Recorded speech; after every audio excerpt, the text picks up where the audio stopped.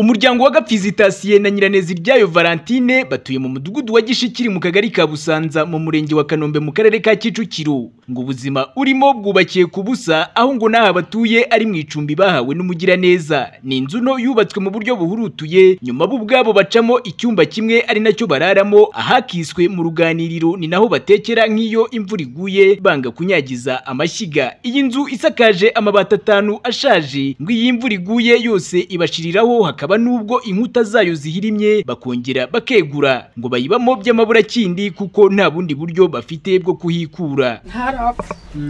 Ibibati byarashaje. Reba n'iki cyose ubu kirabyina n'umwana afasheho do do reba reba uri kukireba uko kiri kugira. Unatekera mu nzu se? Bacana he hanze aho se? Babireba do. Tambuka uze urebe wa mubyeyi we rwose.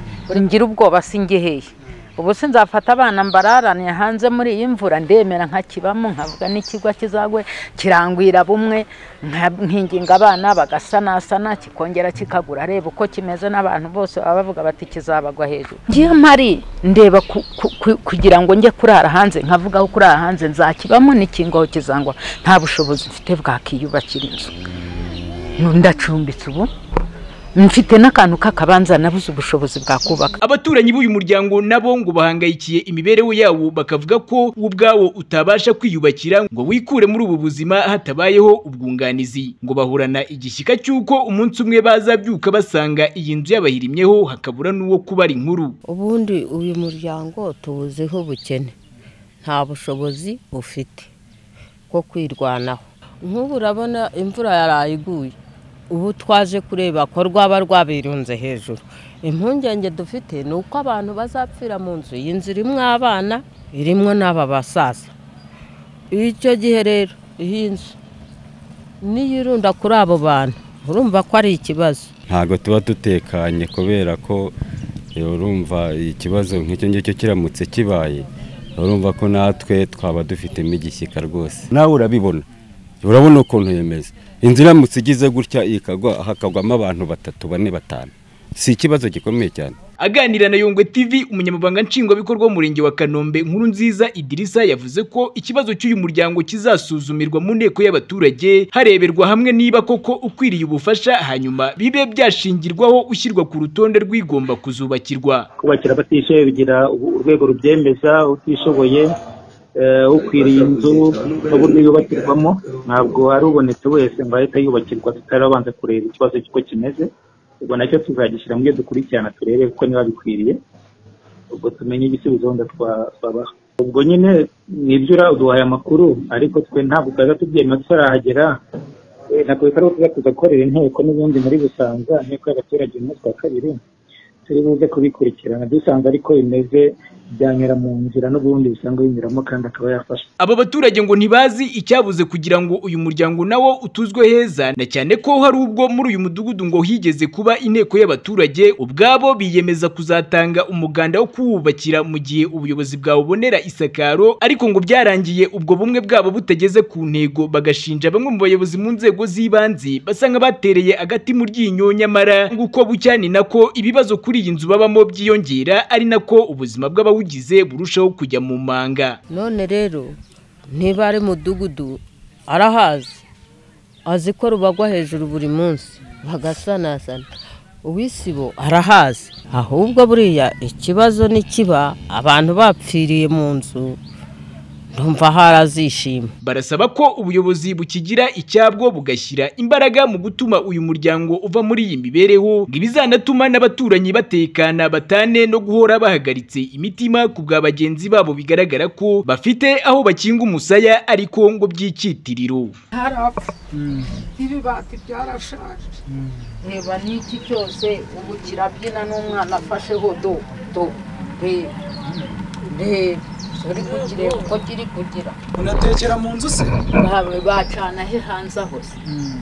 Babireba do tambuka uze urebe wa mubyeyi we rwose. Uri ngira ubwoba singeheye ubu se nzafata abana mbararaniye hanze muri iyi mvura ndemera nkakibamo nkavuga n'ikigwa kizagwe kirangwira bumwe nkinginga abana bagasanasana kikongera kikagura. Reba uko kimeze n'abantu bose baba bavuga bati kizabagwa hejuru. Ngiyo mpari ndeba ku- ku- ku- kugira ngo njye kurara hanze nkavuga aho kurara hanze nzakibamo n'ikingo kizangwa. Nta bushobozi mfite bwakiyubakira inzu. Ndacumbitse ubu. Mfite n'akantu k'akabanza nabuze ubushobozi bwakubaka abaturanyi b'uyu muryango nabo ngo bahangayikiye imibereho yawo bakavuga ko wo ubwawo utabasha kwiyubakira ngo wikure muri ubu buzima hatabayeho ubwunganizi. Ngo bahorana igishyika cy'uko umunsi umwe bazabyuka basanga iyi nzu yabahirimyeho hakabura n'uwo kubara inkuru ubundi uyu muryango tuwuziho ubukene. Nta bushobozi ufite bwo kwirwanaho. Nk'ubu urabona imvura yaraye iguye ubu twaje kureba ko rwaba rwabirunze hejuru. Impungenge dufite ni uko abantu bazapfira mu nzu. Iyi nzu irimo abana irimo n'aba basaza. Icyo gihe rero iyi nzu niyo irunda kuri abo bantu. Urumva ko ari ikibazo. Ntabwo tuba dutekanye kubera ko eh, urumva ikibazo nk'icyo ngicyo kiramutse kibaye. Urumva ko natwe twaba dufitemo igishyika rwose. Nawe urabibona.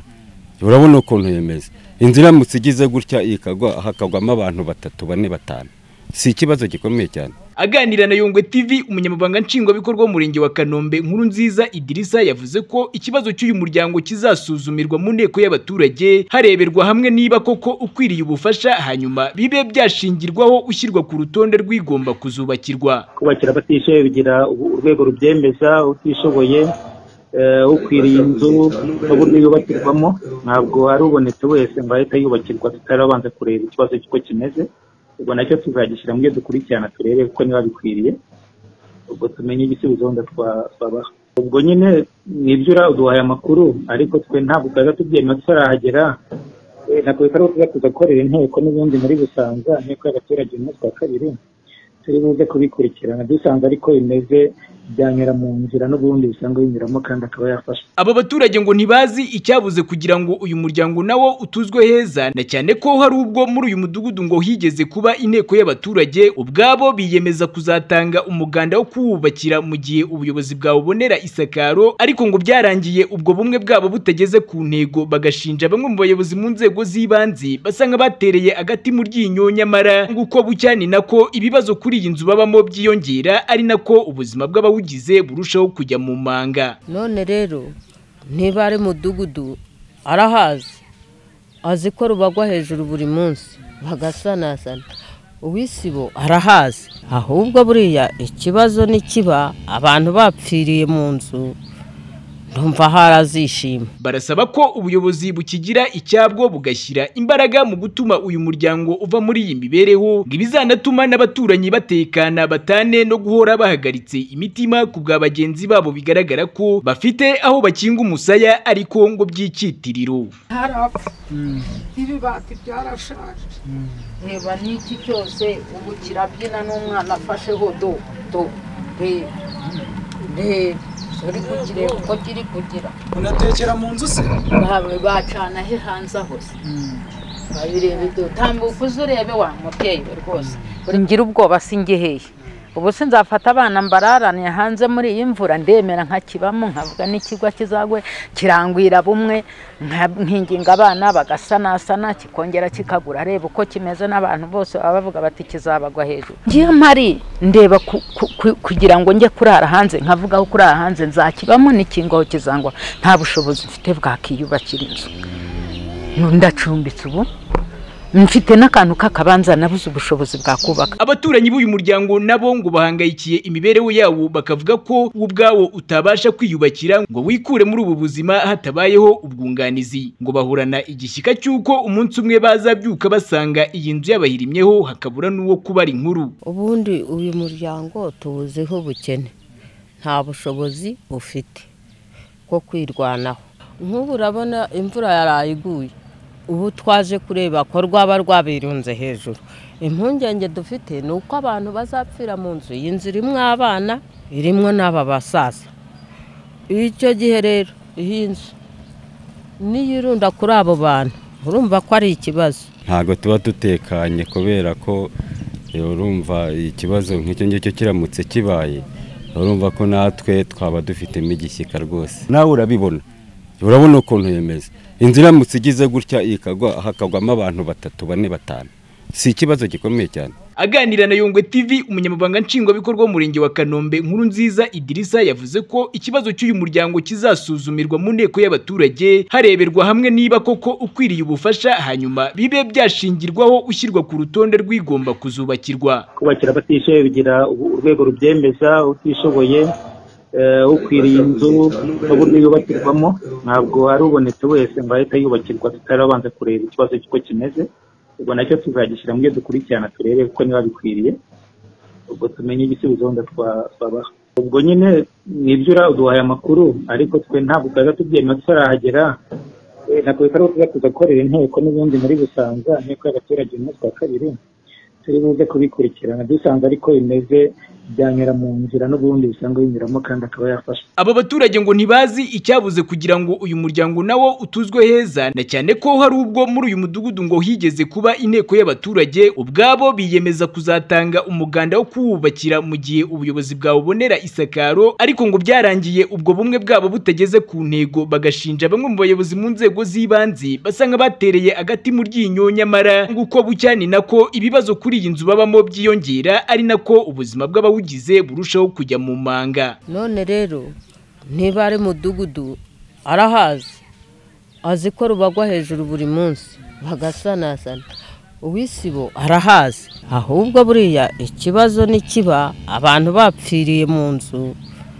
Ndumva harazishima. Barasaba ko ubuyobozi bukigira icyabwo bugashyira imbaraga mu gutuma uyu muryango uva muri iyi mibereho ngo ibizanatuma n'abaturanyi batekana batane no guhora bahagaritse imitima ku bwa bagenzi babo bigaragara ko bafite aho bakinga umusaya ariko ngo by'icyitiriro harapfa ibibati byarashaje. Reba n'iki cyose ubu kirabyina n'umwana afasheho do do reba reba uri kukireba uko kiri kugira. Unatekera mu nzu se? Ba- bacana he hanze aho se? Babireba do tambuka uze urebe wa mubyeyi we rwose. Uri ngira ubwoba singeheye ubu se nzafata abana mbararane hanze muri iyi mvura ndemera nkakibamo nkavuga n'ikigwa kizagwe kirangwira bumwe nkinginga abana bagasanasana kikongera kikagura. Reba uko kimeze n'abantu bose baba bavuga bati kizabagwa hejuru. Ngiyo mpari ndeba ku- ku- ku- kugira ngo njye kurara hanze nkavuga aho kurara hanze nzakibamo n'ikingo kizangwa. Nta bushobozi mfite bwakiyubakira inzu. Ndacumbitse ubu. Mfite n'akantu k'akabanza nabuze ubushobozi bwakubaka abaturanyi b'uyu muryango nabo ngo bahangayikiye imibereho yawo bakavuga ko wo ubwawo utabasha kwiyubakira ngo wikure muri ubu buzima hatabayeho ubwunganizi. Ngo bahorana igishyika cy'uko umunsi umwe bazabyuka basanga iyi nzu yabahirimyeho hakabura n'uwo kubara inkuru ubundi uyu muryango tuwuziho ubukene. Nta bushobozi ufite bwo kwirwanaho. Nk'ubu urabona imvura yaraye iguye ubu twaje kureba ko rwaba rwabirunze hejuru. Impungenge dufite ni uko abantu bazapfira mu nzu. Iyi nzu irimo abana irimo n'aba basaza. Icyo gihe rero iyi nzu niyo irunda kuri abo bantu. Urumva ko ari ikibazo. Ntabwo tuba dutekanye kubera ko eh, urumva ikibazo nk'icyo ngicyo kiramutse kibaye. Urumva ko natwe twaba dufitemo igishyika rwose. Nawe urabibona. Urabona ukuntu yemeza. Inzu iramutse igize gutya ikagwa hakagwamo abantu batatu bane batanu. Si ikibazo gikomeye cyane. Aganira na Yongwe TV umunyamabanga nshingwabikorwa w'umurenge wa Kanombe nkuru nziza Idirisa yavuze ko ikibazo cy'uyu muryango kizasuzumirwa mu nteko y'abaturage hareberwa hamwe niba koko ukwiriye ubufasha hanyuma bibe byashingirwaho ushyirwa ku rutonde rw'igomba kuzubakirwa. Kubakira abatishoboye bigira urwego rubyemeza utishoboye. Ukwiriye inzu n'uburyo yubakirwamo ntabwo ari ubonetse wese ngo ahita yubakirwa tutarabanza kureba ikibazo cy'uko kimeze. Ubwo na cyo tuzagishyira mu byo dukurikirana turebe kuko niba bikwiriye. Ubwo tumenye igisubizo wenda twa- twabaha. Ubwo nyine ni byo uduhaye amakuru ariko twe ntabwo twaza tubyemera tutarahagera Eh, ntabwo ari ukuza tugakorera inteko n'ubundi muri busanza inteko y'abaturage umunsi wa kabiri. Turi buze kubikurikirana. Dusanze ariko bimeze byanyura mu nzira n'ubundi bisanzwe binyuramo kandi akaba yafashwa aba baturage ngo ntibazi icyabuze kugira ngo uyu muryango nawo utuzwe heza na cyane ko hari ubwo muri uyu mudugudu ngo higeze kuba inteko y'abaturage ubwabo biyemeza kuzatanga umuganda wo kuwubakira mu gihe ubuyobozi bwawubonera isakaro ariko ngo byarangiye ubwo bumwe bwabo butageze ku ntego. Bagashinja bamwe mu bayobozi mu nzego z'ibanze basa nk'abatereye agati mu ryinyo nyamara nguko bucya ni nako ibibazo kuri iyi nzu babamo byiyongera ari nako ubuzima bw'abawu ugize burushaho kujya mu manga. None rero niba ari mudugudu arahazi. Azi ko rubagwa hejuru buri munsi bagasanasana. Uwisibo arahazi. Ahubwo buriya ikibazo nikiba abantu bapfiriye mu nzu. Ndumva harazishima. Barasaba ko ubuyobozi bukigira icyabwo bugashyira imbaraga mu gutuma uyu muryango uva muri iyi mibereho ngo ibizanatuma n'abaturanyi batekana batane no guhora bahagaritse imitima ku bwa bagenzi babo bigaragara ko bafite aho bakinga umusaya ariko ngo by'icyitiriro Dieudonne Nshimiyimana Yongwe TV i Kigali.